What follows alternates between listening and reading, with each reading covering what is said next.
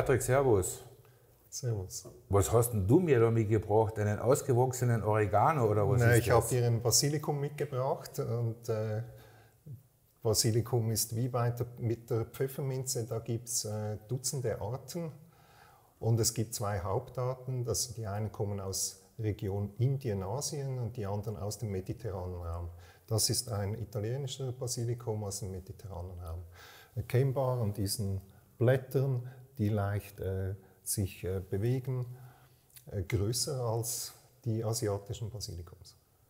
Weil den wir eigentlich immer bei uns äh, haben, beziehungsweise der bei uns gebräuchlich ist, der hat die komplett glänzende Blätter, ist ein runder, schaut ganz, ganz anders aus. Aber nur den wir haben, der ist im Geschmack eigentlich nussig. Ist der auch nussig? Ähm, ich denke nicht, ist nicht vergleichbar, nicht so nussig, nein. Er schaut fast so aus. Ja. Aber kann es auch sein, dass der wirklich in, in Richtung Oregano geht? Oder in welche aromatische Richtung geht der Basilikum, den du mitgebracht hast? Er ist pfefferig. Ja. Ich glaube, das haben alle Basilikums an sich. Äh, grüne Noten, pfefferig. Wofür würdest du ihn generell verwenden, wenn es um ein Crossover geht, von Küche zu Spiritosen? Ja, Küche und, und äh, Küche ist das eine. Das sind sicher alle äh, Sachen, die eher aus der kalten Küche kommen, kombiniert mit anderen Gewürzen. Der Klassiker ist ja äh, Caprese, das italienische Gericht, die Tomaten Ja. mit dem Basilikum. Hast du das gemeint? Ja, es, äh, vor allem in der kalten Küche. Es geht darum, der Basilikum ist sehr empfindlich gegen Hitze. Also sobald ich ihn äh, unter Hitze äh, habe, dann wird er bitter, dann verliert er diese Frische.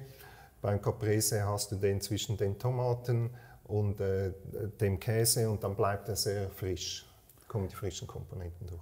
Welches Destillat würdest du dazu empfehlen in der Verbindung? Das ist schwierig, weil er ist ja sehr intensiv. Ich habe mir da Gedanken gemacht äh, aus deinem Portfolio, das du hast, eine Himbeere gewählt und zwar Himbeere mit einem Basilikum-Eis.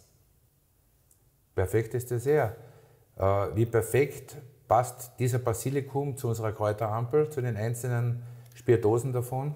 Ähm, sehr gut sicher beim Gin. Da es gibt. Gin-Sorten, die gehen richtig in die Basilikum-Seite.